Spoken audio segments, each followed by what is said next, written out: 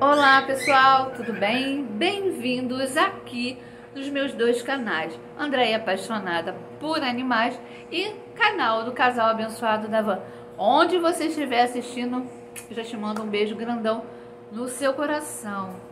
Gente, hoje nós vamos falar sobre o amor, esse sentimento tão especial, né? O sentimento que cada um de nós temos dentro da gente por algo, por alguém, mas temos amor dentro da gente. Ou melhor, a maioria tem.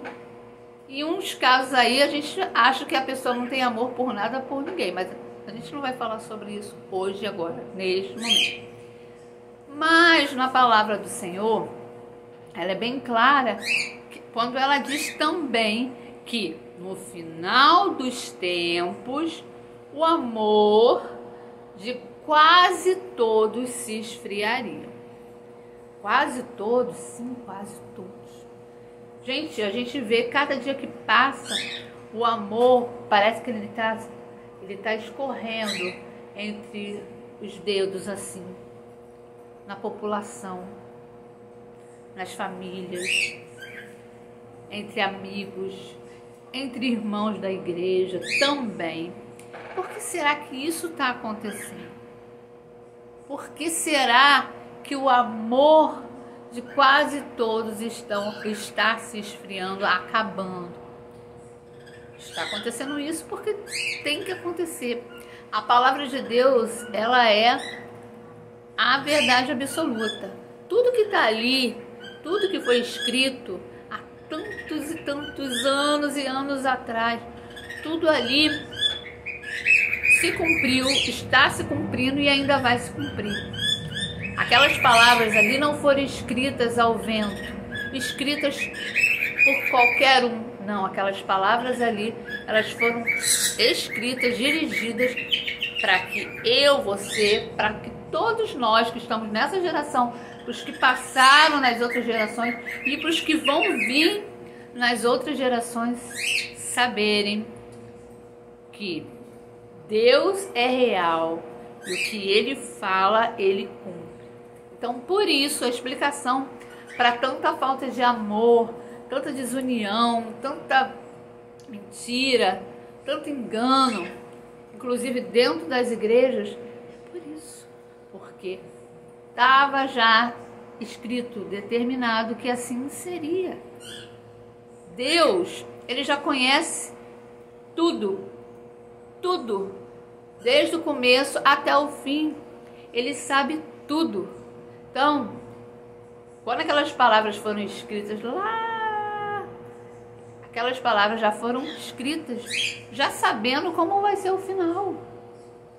Mesmo que ainda falte ainda muitos anos ou não, que sinceramente cada dia que passa leva mais a crer que Jesus está cada vez mais perto como a gente até fala, que ele já está com a mão na maçaneta, só falta de virar e entrar. Porque cada dia que passa, esse mundo que a gente vive tem ficado pior. Cada dia que passa, as pessoas são amantes de si próprias, amantes do dinheiro.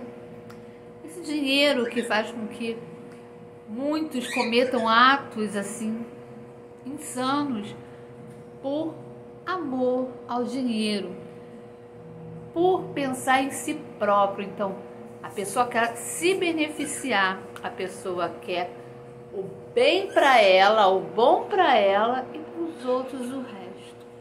Então, tudo isso é falta de amor, porque não foi isso que Jesus ensinou para nenhum de nós, que a gente deveria tratar o irmão com indiferença, ou dar o pior para o irmão. Não, Jesus não ensinou isso.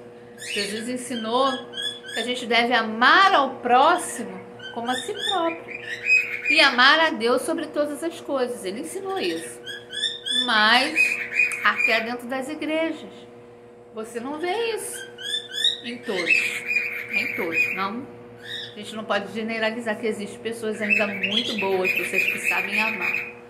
Mas existem pessoas que elas estão ali por benefícios próprios. Elas querem fazer com que o seu eu, né, seja exaltado, seu eu conquiste, conquiste, conquiste. E os outros, tanto faz ou tanto fez. Então, isso é falta de amor ao próximo. Quando a gente não ama ao próximo, a gente não ama a Deus. Como assim, Andréia? Mas ele é só o próximo, ele é só, nem é próximo. Tem nem intimidade com ele, como muita gente fala assim. O próximo não é só o próximo que está do seu lado. O próximo é o ser humano, entendeu? O ser humano. Então a falta de amor está por aí, ela está espalhada. E infelizmente isso vai piorar, ainda vai ter mais pessoas ainda entrando nesse balaio dos que não sabem amar, ou que não querem amar, ou que se amam a si próprios. Amam a si. São narcisistas, como se pode se dizer, né? Então, é por aí. Então, é triste quando a gente vê isso, sim, mas é mais triste ainda quando a gente vê isso acontecendo dentro das igrejas. Quando você vê igrejas divididas, grupinho A, grupinho B, parece o quê? É uma igreja ou é antiga ou é um, um baile que tinha é lá de tchá e lá de tchum? Não, gente, não, é uma igreja. Igreja é o quê? Uma reunião de pessoas que estão ali com uma finalidade, buscar a Deus, né? Aprender de Deus, conhecer a Deus, servir a Deus, louvar a Deus. A minha visão de uma igreja é essa. Mas hoje a gente vê igrejas divididas. Grupo A, grupo B. Ah, não falo com fulano, não falo com o Bertrano. Ah, o fulano é isso, o fulano é aquilo.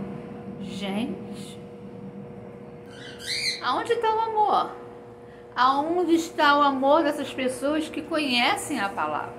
Uma coisa são aqueles que não conhecem a palavra. Uma coisa é aqueles que vivem no mundo, nunca nem foram para a igreja, se foram era lá quando era criança, não, não conhecem, não são conhecedores da palavra de Deus. Então, eles errarem desse jeito, não saberem amar ao próximo, é porque eles não têm nenhum tipo de conhecimento, eles vivem segundo a carne deles, e a carne deles realmente só vai fazer eles pecarem, só vai fazer eles errarem, só vai fazer eles não terem amor. Mas quando a gente fala de pessoas que estão dentro das igrejas, às vezes, ó, anos, conhece a Bíblia da frente para trás, de trás para frente, já leu a Bíblia às vezes duas, três vezes e agem de forma igualzinha aos que estão lá fora.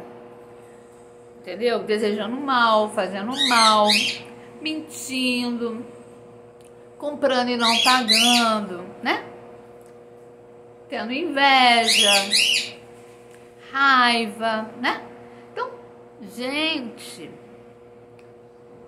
aí eu te pergunto, o que, que essas pessoas estão fazendo dentro da igreja?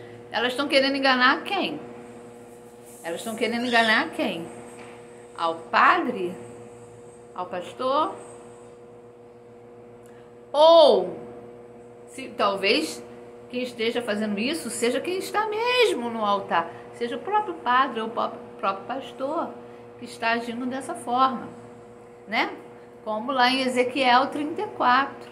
Leiam Ezequiel 34. Vou deixar essa leitura para vocês. Medite, mergulhe em Ezequiel 34, que ali fala exatamente o que é um pastor de verdade e o que não é um pastor de verdade. Ezequiel 34. Não deixe de ler, tá bom? Não deixe de ler.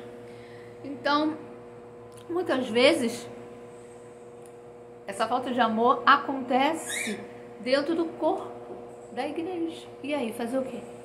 O que fazer nisso? Bem, pessoal, o único modo de mudar isso é a pessoa se arrepender, a pessoa parar, analisar e ver o quanto ele e ela estão errados, se arrepender, né? pedir perdão e seguir uma vida do jeito que deve ser, uma vida digna, né? uma, uma, uma vida, uma vida onde ela possa ajudar o próximo, que ela possa, mesmo que seja com uma palavra, porque às vezes, gente, você não pode ajudar alguém financeiramente, você encontra uma pessoa que está passando uma dificuldade financeira, por exemplo. Mas às vezes você também está passando alguma dificuldade. Então você não tem muita coisa para poder ajudar financeiramente aquela pessoa. Mas se você tiver Deus dentro de você, se você tiver o Espírito Santo, você vai ter algo muito maior para poder oferecer a essa pessoa, que é a palavra, a palavra que cura, que salva, que liberta e que transforma a vida. Então, através dessa palavra que você der para essa pessoa, você vai estar alimentando, sabe o que? A alma dessa pessoa. Você vai estar fortalecendo a alma dessa pessoa. E aí vai acontecer toda a diferença. Essa pessoa vai aprender a ter força e aquela situação ali que ela estava vivendo, que ele estava vivendo, Deus vai mudar, vai transformar e um dia essa pessoa que você ajudou com uma palavra, essa pessoa também vai estar ajudando outras pessoas, contando o testemunho dele e dela, como Deus mudou a história de vida dessa pessoa através do alimento espiritual que um dia alguém deu para ele e para ela. Então, amados, perfeito nós não somos. Nunca seremos perfeitos. Não adianta procurar perfeição entre um ou entre outro. Ninguém, ninguém, nenhum ser humano é perfeito. Todos nós somos pecadores, pecamos todos os dias. Mas existe a diferença, né? Muito grande do pecado e da iniquidade. Existe uma diferença, um abismo entre um e outro. Pecadores todos nós somos. Se não tivesse a misericórdia, né? Como a gente já falou várias vezes aqui no vídeo, a misericórdia de Deus, ela nos alcança, mas mas Deus é justo também, tá? A gente não pense, ai, Deus é misericordioso. Como eu já falei várias vezes também aqui, posso fazer o que eu quiser, que Deus sempre vai me perdoar. E Deus é meu, ainda fala assim, parceiro, né? Ele vai perdoar. Não. Esquece isso, amado. Esquece. Se você vive na iniquidade, o que é iniquidade? Aquele pecado que você faz repetidamente. Ah, eu sou viciado em jogo. Pá, pá, pá. Sou viciado em droga. Pá, pá, pá. E outras coisas mais. Tudo isso que você fizer, tudo isso que você fizer, tudo isso que você vai fazendo e você não muda, você não para, isso é iniquidade. Então não tem como Deus, não tem, amados, você continuando fazendo, não tem como Deus perdoar. Não tem. Ele perdoa sim o pecador que se arrepende. E arrependimento é aquilo que você pega nojo, nojo. Nunca mais você volta a fazer. Isso é arrependimento e Deus perdoa. Você pode ter sido a pior pessoa do mundo, ter feito as piores coisas que um ser humano pode fazer. Mas se você se arrepender de todo o coração, você vai ser perdoado, com certeza.